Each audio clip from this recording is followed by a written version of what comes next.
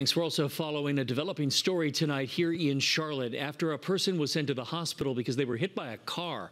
It happened in South Park, near South Park this afternoon. Happened at the intersection of Archdale Drive and Park South Drive right around 4:30 today. The victim was seriously hurt and is still being treated for their injuries tonight.